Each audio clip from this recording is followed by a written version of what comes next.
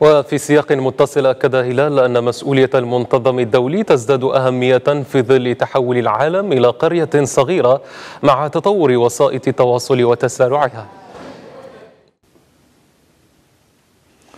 فالآن العالم عنده والحمد لله بفضل خطة عمل فاس عنده وثيقة عنده برنامج وعنده مبادئ.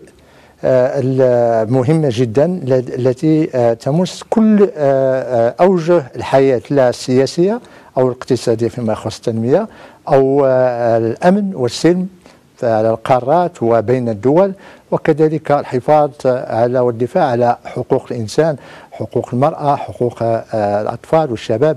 فكل هذه المبادئ الآن مضمونة في هذه الخطة. ماذا كان ناقص هو العمل. لأن في فاس منذ سنة خمس سنوات طبعا اتفقنا على خطة عمل ولكن مع الأسف لم تكن لم يكن هناك أي اجتماع لكي نناقش كيف أو طريقة إنزال هذه المبادئ.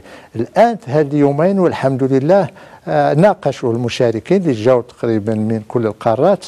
طريقة تطبيق هذه المبادئ وكانت فيها يعني اقتراحات مهمة آه، جدا. مثلا هي آه، آه، أولا اختيار طلب من الأمم المتحدة أن تقوم بنشر أكثر لهذا البرنامج. ثانيا إشراك وكالة الأمم المتحدة للتعليم أو للصحة أو للشباب في كذلك في توزيع هذه الخطة وفي تطبيقها.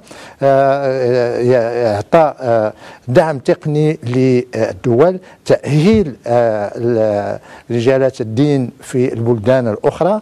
تعاون تقني بين البلدان بيناتها وخاصة نحن والحمد لله عندنا المعهد ديال آه، صاحب جلال فيما يخص آه، الأئمة والمرشدات. آه، كثير من الحاضرين تكلموا عليه لتحسيس وتأهيل الأئمة والمرشدات لكي يواجهوا خطاب الكراهية والعنف. كذلك هناك دور ديال الشباب ديال المجتمع المدني ديال الإعلام. كان مهم جدا أنهم يقولوا هذا الشيء وكان كذلك آه، آه، تنظيم ندوات في جميع أنحاء العالم وندوات خاصة في الأمم المتحدة لكي لا يبقى هذا آه، برنامج عمل أو خطة عمل كوثيقة فقط ولكن كوسيلة لمحاربة كل أنواع العنف ورفض كل أنواع الكراهية ولكي كذلك نشتغل يدا في يد لتعايش وقبول الآخر وبناء السلم والثقة وكذلك إظهار المبادئ السلمية والمقدسة في كل الديانات لأن الديانات إذا أخذت على ما عليها في مبادئها فهي كلها تدعي للسلام تدعي للحب تدعي للتعايش واحترام الاختلاف مع الآخرين.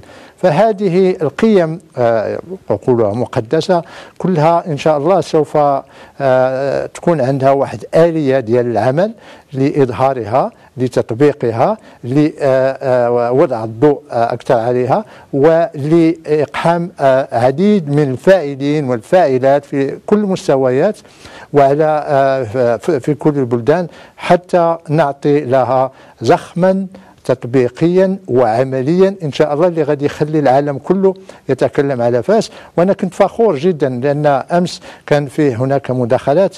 آه، قالوا المتدخلين في أن قدموا آه، خطة فاس في إفريقيا في آسيا في بنغلاديش في ألمانيا في أمريكا في أمريكا اللاتينية في آه، الدول اللي عندها نزاعات.